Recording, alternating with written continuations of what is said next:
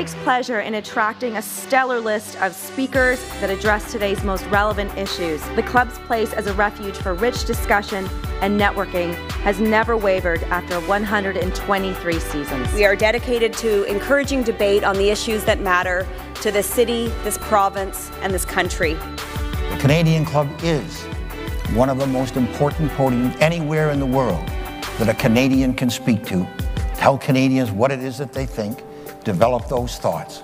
And so I want to thank you for that very, very much. Please join me in thanking our esteemed panelists today. Through our programs and events, including our youth and young leaders programs, our diversity partnerships, our joint events, and our media and social media opportunities, we offer you access to dynamic, political, social, and business figures from abroad and right here at home. The platform from which the eloquence of Canada has flowed all of that time, whether it be business, education, politics, sports, arts, and culture. If someone wants to say something to Canadians about this country and about the future of this country, this is the venue you choose.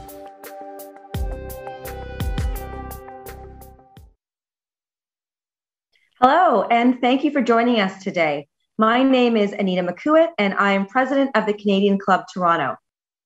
The global pandemic has spurred innovation in all areas financial, technological, and even participation by retail investors. Today, we're joined by Ontario Securities Commission Chair and CEO Grant Vingoe to discuss the transformation underway at Canada's largest capital markets regulator. Before we hear from our speakers, here's some information about how you can participate with us today. The click here to switch stream button helps if you find that your internet is slow. The video quality may decrease, but the audio quality should remain strong. And we do want your questions today. So just click the questions tab, enter your question in the window, and it will go straight to our moderator. Thank you to today's event sponsor, Borden Ladner Gervais. The Canadian Club is a nonprofit, and we've been gathering people together for 124 years. And it's because of our sponsors that we can continue to do that. So thank you, BLG. Now to introduce today's speaker. Grant Vingoe is Chair and Chief Executive Officer of the Ontario Securities Commission, following over four years as its Vice Chair.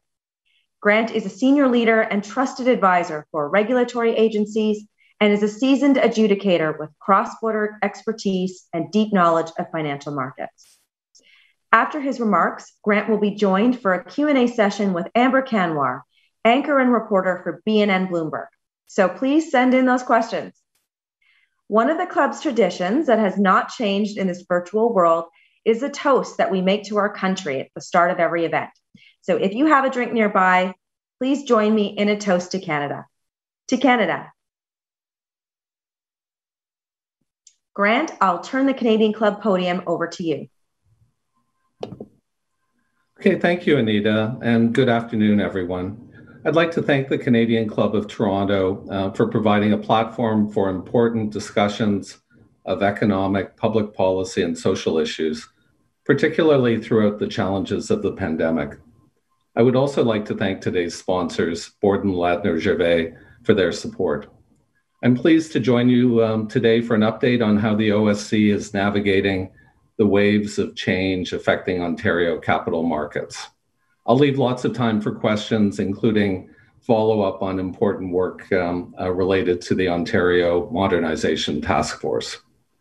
Off the top, and of importance because these are significant trends we're seeing that fundamentally impact our markets, I'll discuss um, uh, three areas.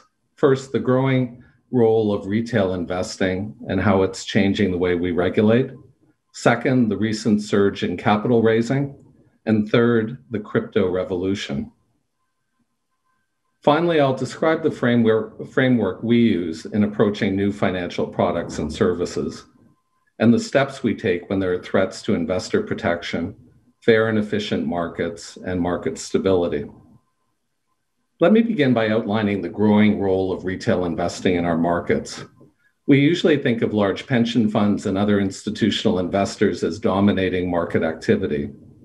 That has changed since November, with retail trading steadily increasing and in February surpassing institutional and high frequency trading to become the primary contributor to trading volume. Retail trading represented about 45% of volume in February. In the US, it actually surpassed 50%. While it has subsided from its peak and is trending down somewhat, there's also a sense that some of this activity has moved to crypto assets, which I'll discuss in a moment. We've seen more trading in the online discount brokerage channel as well, mostly from do it yourself investing.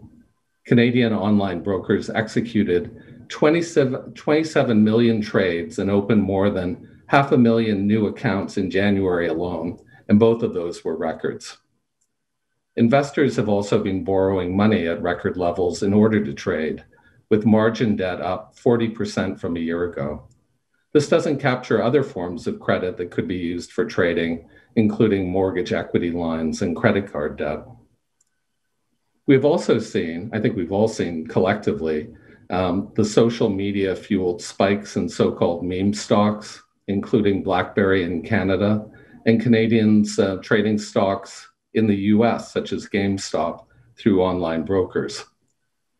In the US, this retail surge caught some short sellers off guard with at least one large hedge fund uh, needing a bailout. The risk of price surges and margin calls comes with the territory for hedge funds, and I mention this only as an example of the impact retail traders have had. We've also seen the emergence of commission free trading, which relies on spreads and other fees to generate profits. In the United States, revenue is driven by payment for order flow, which is prohibited for trades on Canadian exchanges. And that's really an important difference. In Canada, the revenue for these um, uh, dealers has come mainly from foreign exchange fees paid by investors. Finally, and understandably, we have seen an increase in investor complaints to firms, as well as to IIROC, and to the Ombudsman for Banking Services and Investments, or OBSI, about service interruptions and delays in answering service related calls. These complaints mainly relate to certain large discount brokers who've struggled to handle the high number of transactions and new clients and the need for human troubleshooting. Improvements are underway, but as the trend continues, so does the risk. So, how does this trend change our job? For regulators, these retail focused trends change our job in fundamental ways. First, to be clear, it's good news that younger and tech savvy investors are coming to the markets. I think many will convert to longer term investing and to advice channels over time. Everyone has to learn the lessons of market cycles, and the inevitable downturns will help reinforce the value of advice. In my view, investment firms will pivot to attract and retain fee based clients by offering advice services that meet the needs of a younger digital generation. We need to ensure transparency in all fees charged by these online and discount brokers. This includes the foreign exchange fees I mentioned a moment ago, which can easily exceed commissions in cross border trading. We have concerns over potential conflicts of interest related to these foreign exchange fees, and we're looking at them closely. I'm also concerned about how much online trading is beginning to look like online gaming, complete with pop ups, incentives, and prompts designed to influence behavior. On some US platforms, there were even on screen confetti drops to reward first trades. Thankfully, this stopped after a lot of media um, attention and, um, and political interest. In Canada, we have easy to install trading apps and first trades that go through before the client's initial deposit has even cleared. While these may be efficient and reflect investor choice, they can also lead to impulse trading. There's a fine line between being easy to use and encouraging reckless behavior. Discount brokers should educate and warn investors, especially in periods of extreme volatility. They can do this without stepping over the line to give advice. And if any firm feels that existing limits on giving advice prevent them from doing this, come to us and we'll help resolve this uh, with our IIROC counterparts. We also need to step up investor education in the online uh, forums where new traders go for tips and design our messages in a way that will influence behavior. Not many people know this, but the OSC's investor office is active on Reddit forums and is using behavioral principles to better reach investors. Also, we won't be shy about enforcing against those who feed misstatements into the market, either to denigrate stocks to profit from short selling or as part of pump and dump schemes. The Modernization Task Force has recommended giving us new tools that would strengthen our ability to combat market manipulation. On the rising number of service complaints I mentioned earlier, we should ensure that fine print contracts do not prevent investor redress and that OBSI can recommend compensation in these cases. I applaud the steps taken by IIROC to address these issues and believe that firms should be prevented from adding new counts at all if they don't have the capability to properly service those clients. When firms hang out their shingle to engage in retail securities business, they must be able to provide prompt, reliable service on all fronts, not just for opening new accounts, but also for existing clients when they need help. We are watching this along with um, our uh, colleagues at IIROC. The second trend I'll touch on briefly is the recent surge in capital raising. Capital market financing has been at a remarkable pace since the start of the pandemic, reflecting the significant need for liquidity by public companies. The OSC received close to 700 prospectuses in the past year. That represents a 67% uh, increase from the year before. These included more than 50 prospectuses filed confidentially under our newly introduced pre-file program, which reduces burden by providing issuers with increased market certainty. Despite this increase in volume, OSC staff have risen to the challenge by continuing to issue comment letters and prospectus receipts well within OSC service standards, which you can find on our website. Our staff continue to be diligent in serving the important role the OSC performs to support capital formation in the Ontario markets. The investing public benefits from the speed and professional care we are taking in this area.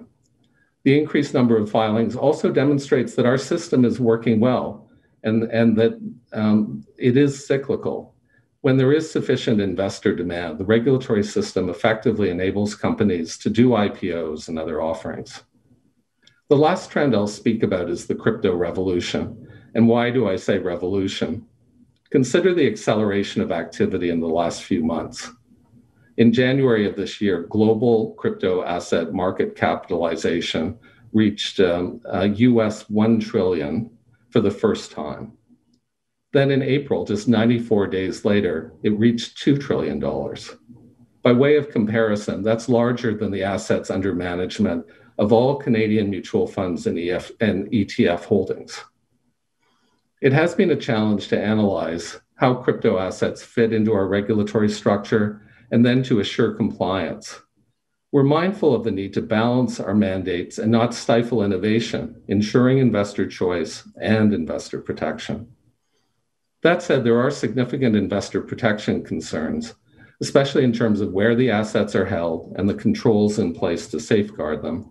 No one wants to see another situation like the collapse of Quadriga CX, where we determined there were essentially no controls and more than 76,000 investors were, were defrauded in a Ponzi like scheme. Most crypto dealers and platforms act as their own custodians, running the risk that client assets will not be legally segregated. Without regulatory oversight, investors need to consider what is preventing the misuse of their assets and what protections they have if the platform becomes insolvent. For the OSC, we determined that registration is the route required to afford investors the critical protections they deserve. Against this backdrop, there is only one crypto asset dealer registered with the CSA today, with others in the door, but with many slow to be registered or set on a path to IIROC membership. Nonetheless, these firms have marketed their services to Canadians and dramatically increased their assets, and that concerns me. It's not easy for regulators to impose compliance in a worldwide market. but it worked to rein in securitized mortgages and credit default swaps after the great financial crisis. And on the retail side, regulation has had an impact on binary options and contracts for differences. We intervened last month to insist that non compliant crypto asset firms come to us to register. The CSA has provided guidance about the steps they have to take. In Ontario, we set the deadline of April 19th for firms to take the first step or risk enforcement action. Collectively, the CSA has more than 70 firms in the door that are now correcting course. We have reached out to other firms we know are, are selling to Ontario investors, and action is underway. Firms that have nothing to hide should embrace the opportunity to enhance confidence in their businesses by seeking registration and appropriate oversight. We have a lot of work ahead in processing applications by these firms, and we're committed to working with them to get this done. Enforcement will also likely be very busy in the coming weeks. Crypto assets and the firms that trade them pose regulatory challenges, but they are not the first, nor will they be the last challenging forms of financial services innovation. With that in mind, I want to comment on the principles we apply to innovative products and services generally. There are three principles that I have found helpful and use as chair of the OSC in guiding regulatory action. First, we must stay focused on our mandates investor protection, fair and efficient markets, and financial stability, as well as our very recently enacted mandates to promote competition and foster capital formation. The tools for investor protection are disclosure, education, the regulation of intermediaries and advisors, and the power to restrict products or services where it is contrary to the public interest. We are excited about our new mandates, and I commend the task force and government for their bold action, and, and am grateful for their confidence in the OSC to take on wider responsibilities we must provide the conditions that enable businesses to contribute to growth and prosperity and facilitate wealth creation for Ontario investors. And we must get the balance right so that capital can flow to growing Canadian businesses, innovation can flourish, and consumers have access to a diverse range of financial services from a variety of firms, large and small. In the crypto asset area, and this will require action across the regulatory community. We must provide the conditions for strong and effective, well regulated third party custodians to be launched. The second principle is that we should be technology neutral and have a deep understanding of new technologies. We are enhancing our technical capacity even further at the OSC, including in our new innovation office. This team is up and running and includes experts in capital raising and new financial intermediation technologies and services. This will allow us to support and encourage innovative business models. That said, we will not approve a new product or service without applying a well uh, informed critical lens. Products can be innovative, but fundamental protections for investors must be observed. We will use carefully designed and time limited experiments in an Ontario sandbox environment to gain experience and knowledge where appropriate. You can expect to see more concerted outreach by the Innovation Office within days.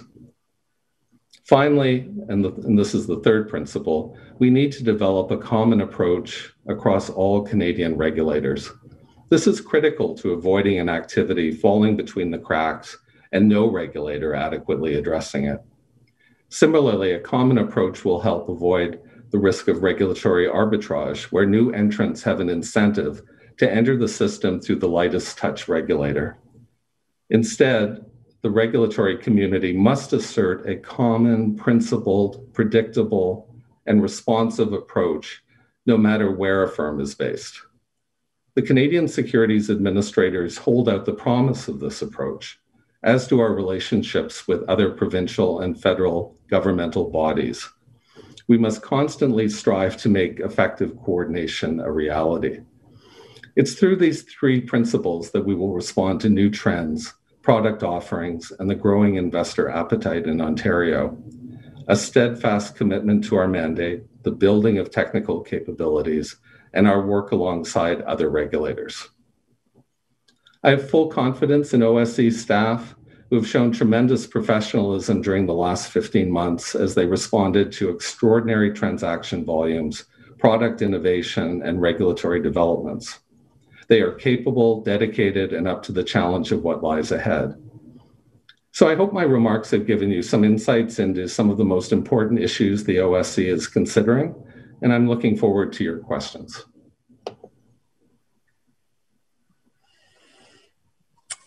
Thank you so much, Grant. Uh, I learned a lot in that speech. It was full of great facts, and I have to admit, I kind of smirked to myself thinking about your very well educated OSC staff looking at Reddit pages and probably having to learn a whole new language because they speak a whole new language uh, on those forums. Uh, but but you you put some great numbers to to just how big retail trading has become as a percent uh, of the total market. And, and before we get to some of the other questions, I'm just wondering have you observed any differences between, you know, maybe the characteristics and the approach of the Canadian retail trader the Ontario retail trader compared to, you know, um, some of the dynamics that we see south of the border?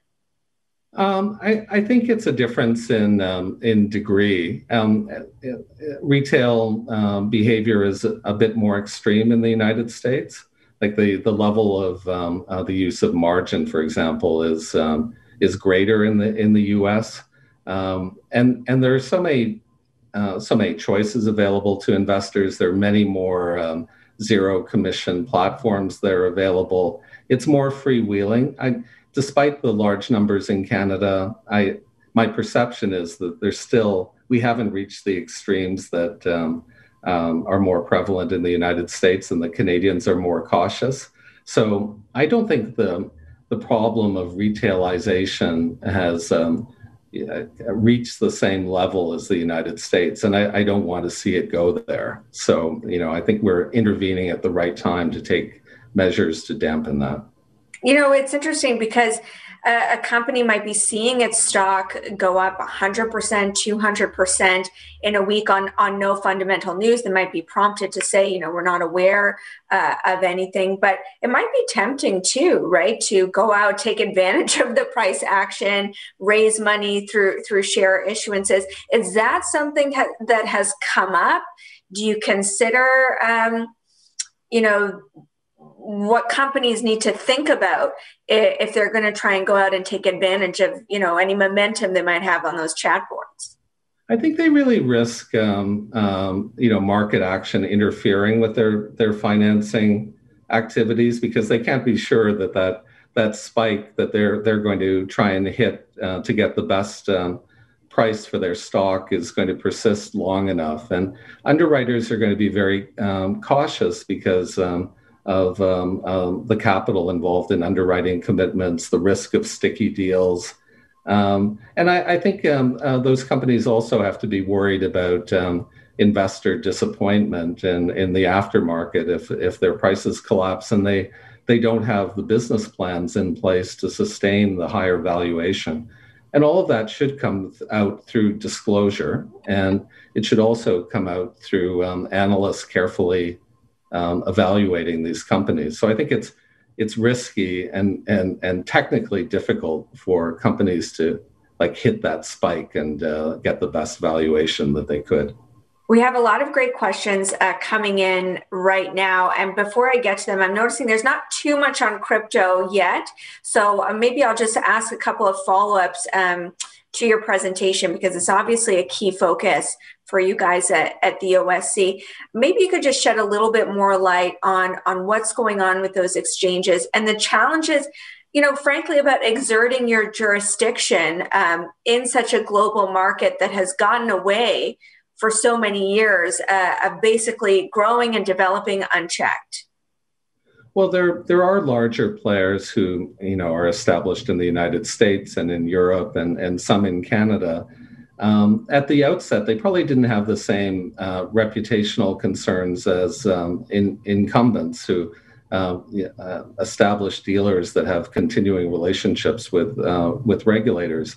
But as they've grown, they've had naturally had more of an interest in having confidence in their platforms and in um, having a good reputation associated with regulatory compliance. So I think our intervention is really at just the right moment where um, they've grown to a point um, um, where there's a strong desire to come into compliance and an increasing awareness, um, hopefully through our efforts and others, that um, investors have to be uh, very careful when they're dealing with unregulated entities. And they don't, I think they don't want to be tarred with that unregulated um, um uh, brush where um, investors can't have confidence. It's a fine balance, as you mentioned, though, be- between uh, protecting the investor, but also making sure you don't stifle innovation. As these exchanges come under the OSC umbrella, how are you balancing that? Uh, we talked a little bit about this offline. Um, you know, the ability of them to offer a wide variety, say, of, of cryptocurrencies, perhaps in a more regulatory and uh, controlled environment, would be limited compared to, you know, one that that can offer whatever coin they want? Well, I think you know we recognize that um, despite the increased volatility, um, uh, that there are certain uh, cryptocurrencies like um, Bitcoin and, and, Ether that are so well established and and have liquid markets, um, and that we would characterize as as commodities, but where the totality of the arrangements transform them into either derivatives or in, in investment contracts. But the ones that are highly liquid and are now very well established, and I think I could count them on one hand, should uh, you know uh, trade relatively freely on these platforms from my point of view. The ones that are um, uh, not as liquid, um, uh, that are you know frankly a bit sketchier uh, in many cases, um, you know we think of those in the same way that we think of, um, of private placements, and they may be appropriate for very sophisticated investors, but not for a mass retail um, uh, uh, investor base. Um, so fundamentally, we think these platforms should control the um, uh, uh, the products that they make available through um, uh, processes, procedures, and um, that we would uh, supervise. Uh, we don't want to get in the business with the thousands of crypto assets of, of actually saying you can't do this one, you can do this one. But we're only really comfortable with the highly liquid ones. And then there are some that are clearly fraudulent or questionable that we would bar, and the others that have to be supervised by the firm subject to our oversight. And we divide it between sophisticated uh, versus unsophisticated investors.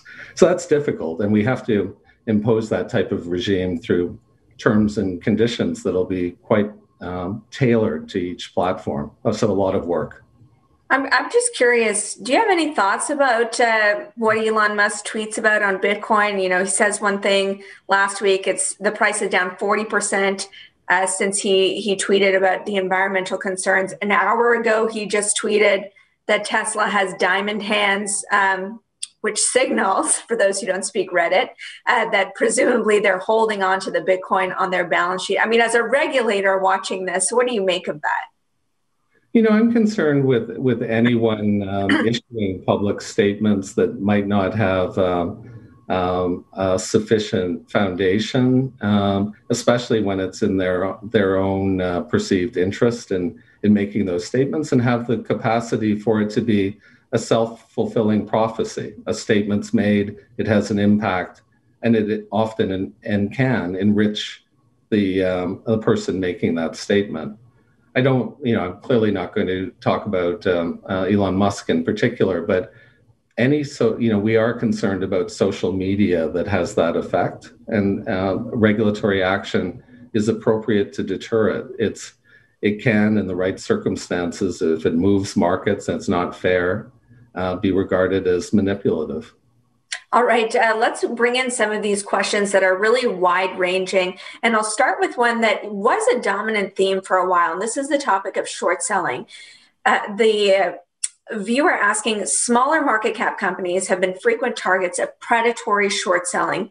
Experts say that Canada's lax regulations around the practice have allowed abusive forms of short selling to flourish, particularly in the Canadian markets.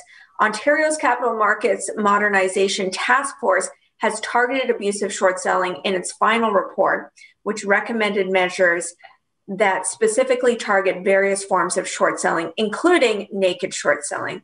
What is the OSC doing to address these issues in particular?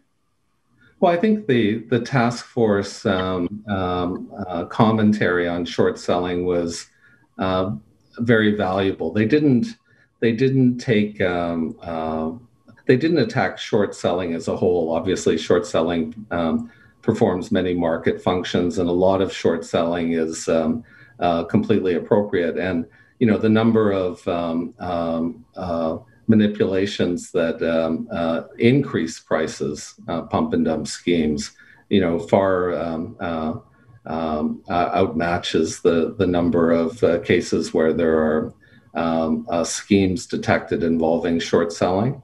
But that that being said, you know, I think there's a need to do a few things, and and this is aligned with the task force recommendations.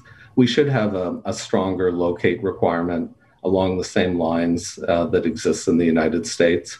It's it's not enough that um, you know the Canadian clearance and settlement system operates to cover a, um, a, a fail on a short.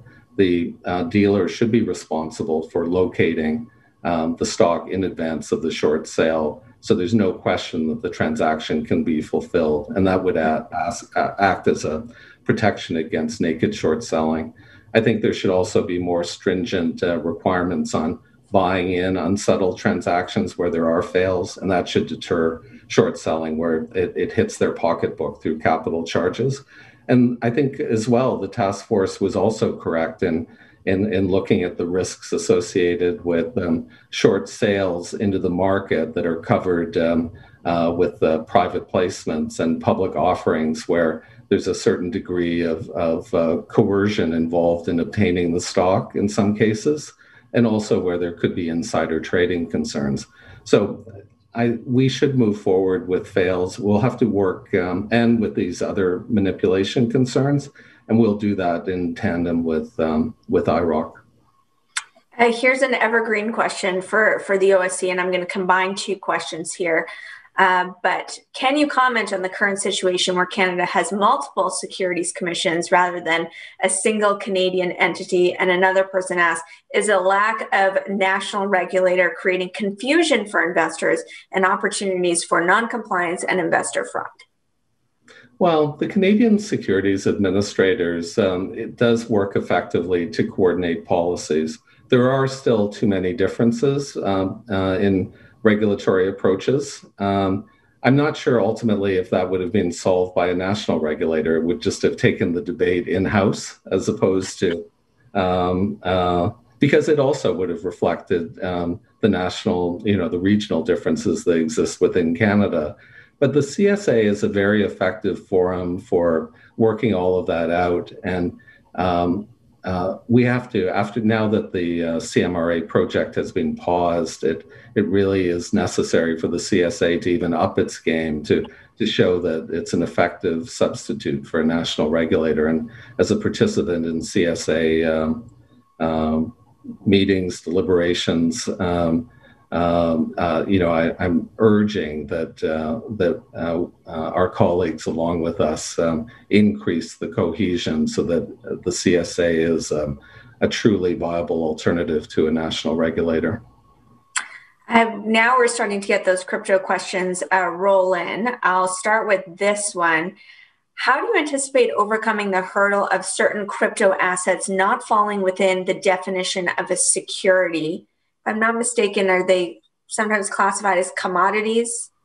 Yeah, fundamentally, you know, the ones that are highly liquid that you know we regard as um, uh, we might regard as cryptocurrencies that um, um, the really liquid ones like Bitcoin and Ether are are in our nomenclature they are commodities. So, um, but the reality is that um, these platforms don't deliver them to the client at the end of the trade. They hold them, and they often hold them um, in, in, an unsegregated um, um, uh, account. Um, so it's really what the investor ends up having is a, a, ledger entry, and and they're subject to the credit worthiness of the platform and its willingness to actually deliver it. So it's in many cases it's not segregated for the benefit of the client. So in, in that case, um, you know, the security involved is not the Bitcoin or Ether itself. It's it's actually the combination of contractual rights, including, um, you know, the exposure of the client to um, the ability of the platform to deliver it. So that's where the security is created. We think of um, what an investor has in, in most cases is a right to obtain the commodity. And that right is either a security or a derivative. And that's the foundation of our jurisdiction.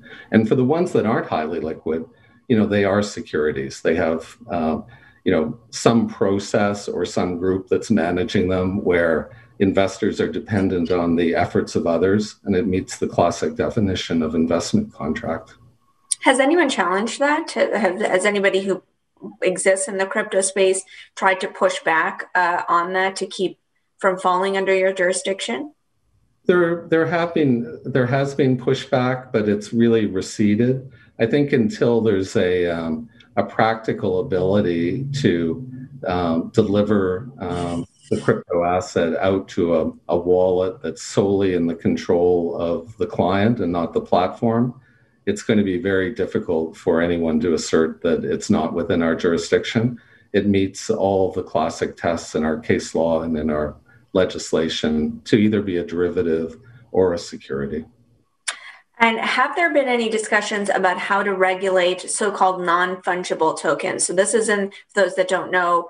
Uh, in cryptocurrencies, Bitcoin, one Bitcoin is indistinguishable from another. You don't care which one you have. But a non fungible token is attached to something, say artwork or a collectible. That's kind of how we've seen it play out right now.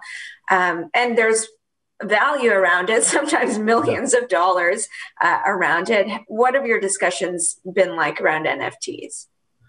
Well, you know, we do recognize that there can be things that exist in digital form that are collectibles, you know, that, um, um, uh, and, you know, we don't regulate um, um trading cards or um, uh, the holding of artwork. And, and even if, um, you know, they're, they're, there's an infrastructure around those collectibles. Um, um, there's a line where they're clearly non securities.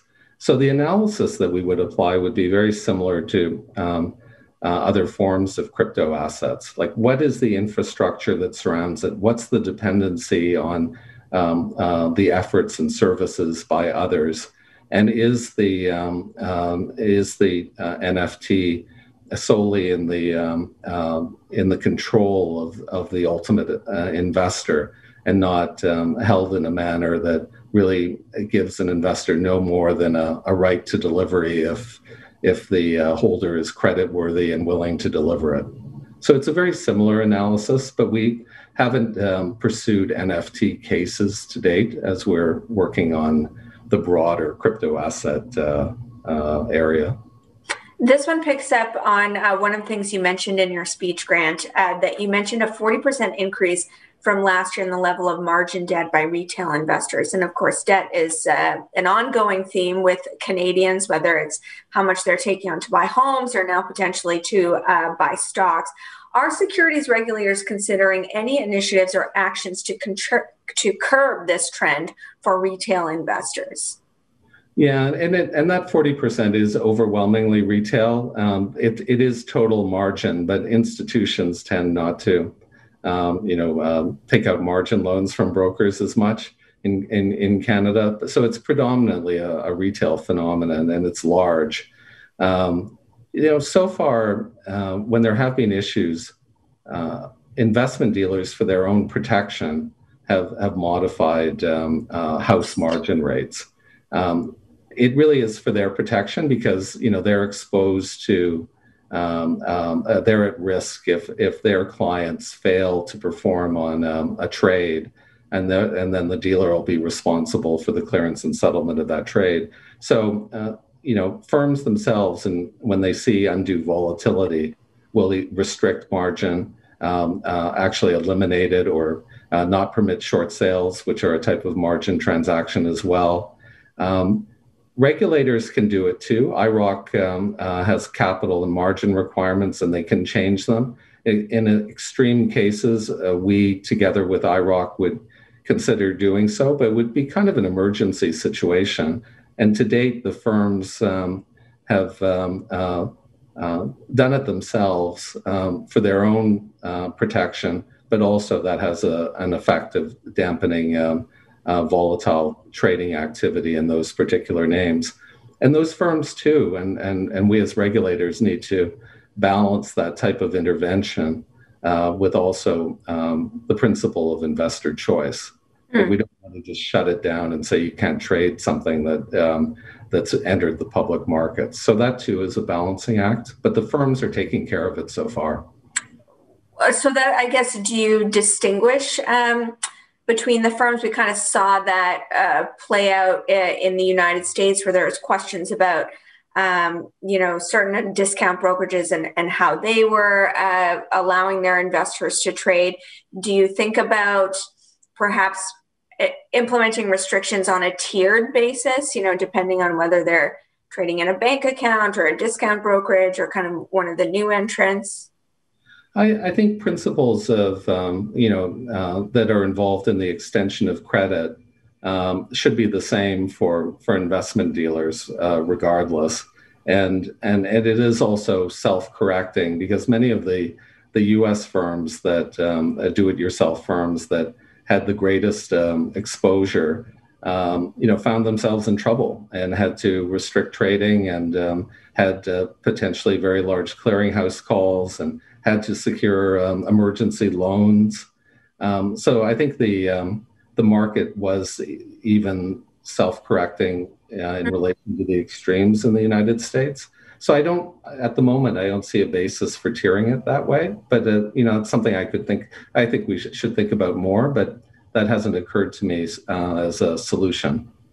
In in your speech, um, you you painted a picture of a very robust and busy year uh, for staffers at the, at the OSC. And uh, one person is asking, what is the OSC doing for its staff regarding things like work life balance and other measures? And is the OSC investing in and increasing staffing at a time where obviously the demand uh, on their time is really huge right now? Well, we are trying to increase staffing. And I, I think in that regard, we're we're competing with um, uh, the street and hiring good people who can continue to carry out that work. You know, the OSC is a, a wonderful place uh, to work, and you know, for me, it's been the the most uh, enjoyable and and uh, stimulating environment I've been in throughout my career, and it's a uh, it's wonderful to work with my colleagues and who have a sense of mission. So they're not uh, usually they're not the people who are pursuing the last dollar on the street, but it's still a challenge to uh, uh, it's still a challenge to recruit, but we are trying to fill needs. And there are uh, some particular areas. We've been hiring in our innovation office, our enforcement um, uh, group, which is um, uh, a significant proportion of our professionals, you know, has also seen a very large um, uh, number of um, uh, cases to be assessed, and we're recruiting in that area, and clearly in corporate finance. And we're both looking at long-term and short-term solutions and we are focused on um, uh, work-life balance. You know, I get a lot of letters from market participants thanking our staff for, um, you know, working late on a Sunday night to facilitate a, a, receipt first thing Monday morning on a prospectus. But we have to reward those people, and and and they can't be expected to, um, you know, uh, to do that indefinitely. Um, so we're trying to do that through our uh, the, our ability to uh, have variable pay and bonuses. We're um, trying to do that by, you know, modulating the work as best we can and bringing in help. And we've been really focused on mental health as an issue and have brought in um, new resources, um, um including online resources, increasingly as a, a counseling tool at, at the OSC. So all of our managers are intensely focused on that. They've received um, um, you know, um, instruction and training to be able to modulate the um, the work of their staffs. But we're not the only ones in that boat, so I don't want to be uh, um, saying we're uh, different than all the other organizations that are going through similar issues. We're we're facing them as well. Uh, one person asking it, when will individual investors be able to make multi-leg stock trades on Canadian stocks in most major trading platforms in Canada. So that's the ability to basically execute on, on two or more um, options trade at the same time? Huh. You know, that's that's one I'm, I'm going to have to um, uh, look into a bit further. Um, it seemed specific. I didn't know if. It's a, it, you know, I, I know there's an ability to do uh, multi-leg transactions, and I'm not sure if it's a, a broker limitation, an IIROC rule that, you know, because options at, at the at the beginning of options trading long ago, it was uh, considered a, um, a, much more um, unusual and novel, uh, you know, market innovation, which puts current innovation in perspective. So if our rules aren't up to date on that, uh, we should revisit it. So I'll, I'll take that back one of the, the new innovations is not new, but there certainly was a boom of it uh, south of the border. These special purpose acquisition corporations, uh, big boom, and uh, I guess you can call it a bust now uh, in the U.S. A bit of a pullback.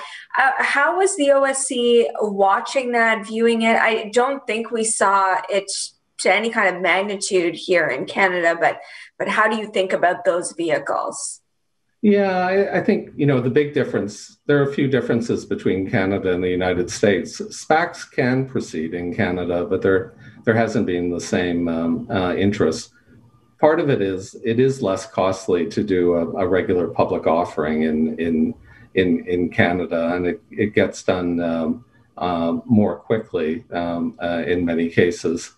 Also, we do, um, and I won't say this is a, a completely uh, positive factor, but um, you know we do have a much more widespread uh, use of uh, reverse takeovers as a way of um, of going public and um, and also of um, of um, um, uh, you know other methodologies for bringing venture uh, companies public.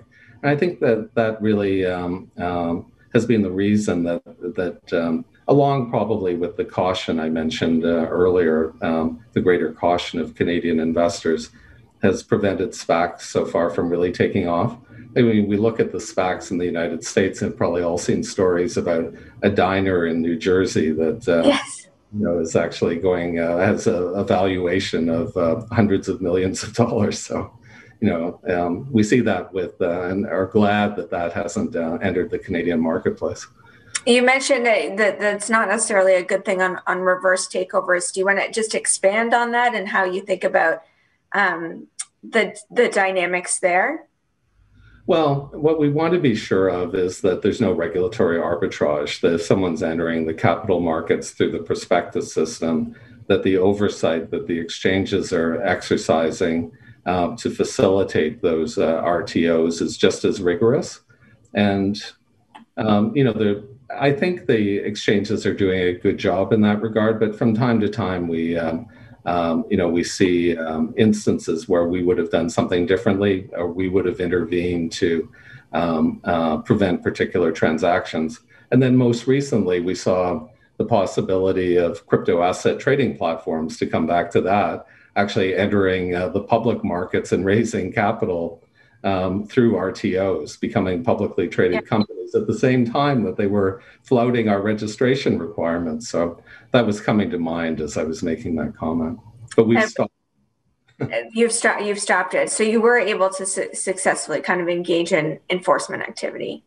Well, it wasn't enforcement activity. It was really mm. an understanding with the exchanges that um, uh, they wouldn't consider after we published um, our guidance um, and the, the rules were clear that it wasn't appropriate for um, platforms that uh, had not been registered um, and in compliance to access the public markets through RTOs or through public offerings. So we have we have about five minutes left. Uh, one of the other questions coming through, uh, just going back to this, you talked about the CSA kind of being this in the absence of a regulator, you have this collaboration um, on the part of the CSA. On task force recommendations, would the OSC consider moving ahead independently of the CSA on certain priority areas in Ontario where national consensus cannot be reached in a timely manner? It's a possibility, but you know, our, our our default is to do it on a harmonized basis. And then you have to consider the practicality of it um, and the politics of it. The practicality is if if one jurisdiction imposes a rule, um, is it going to be effective across the country? And you know, is it appropriate uh, and in what circumstances for Ontario, given its, um, uh, the, its size and importance of the market, to say we're imposing a rule and it's going to become the de facto rule across the country. That's a very non-collaborative approach, and um, you know if it's absolutely essential, if if there's um, a compelling Ontario um, interest in moving forward with something, it's not out of the question. But the entire community is better served with um, a harmonized Canadian system. So that should really be the exception to the rule, and coordination should be the norm. All right. Uh, oh, you were on BNN Bloomberg uh, earlier today and asked you this question, but I'll ask for uh, this audience as well, just to uh, end on crypto. Um, so exchanges is one way that you're looking to regulate uh, this market. The other is through the acceptance uh, of ETFs, and the OSC has been kind of a first mover there. Uh, what gave you the confidence to kind of go out and, and be the first mover there? And do you expect the SEC at some point will also uh, greenlight cryptocurrency ETFs? Well, you know, I think um, um, the the evolution of the um, um of the ETF uh, discussion in, in in Canada, you know, did give us ultimately the comfort that we should proceed with um, with those filings. You know, uh, major accounting firms were now auditing uh, the holdings. Um, the particular ETF providers had um, uh, custody solutions that address many of the problems that I, I discussed, um, and um, uh, also bringing uh, crypto assets into a regulated channel where you know ETFs can be purchased through registered dealers with dealer and and um, and and regulator oversight.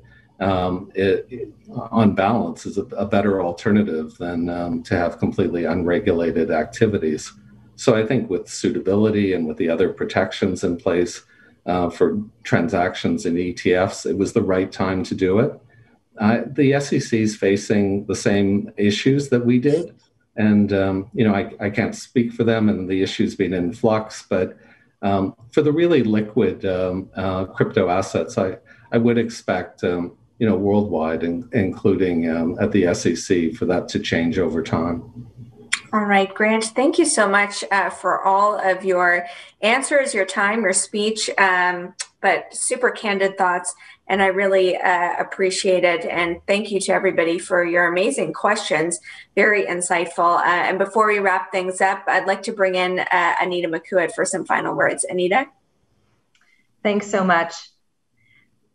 Guests, thanks for spending your lunch hour with us today. Grant, Thank you for joining us. It's clear that the OSC is working hard to meet the challenges posed by today's ever evolving market, including researching those Reddit forums.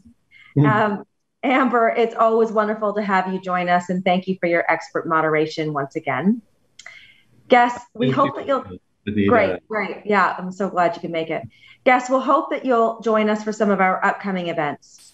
Tomorrow, we'll host Ian Scott chairperson and CEO of the CRTC, to discuss how internet services have become even more vital during the pandemic and the CRTC's efforts to promote more choice and affordable wireless services.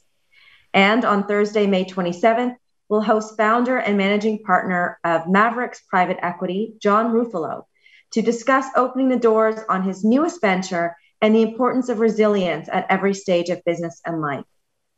Thank you again to BLG for sponsoring today's event. We could not hold these events without our sponsors, so we do appreciate your continued generosity. Thank you to our AV supplier, Van Valkenburg Communications and livemeeting.ca for making it possible for us to come together virtually today.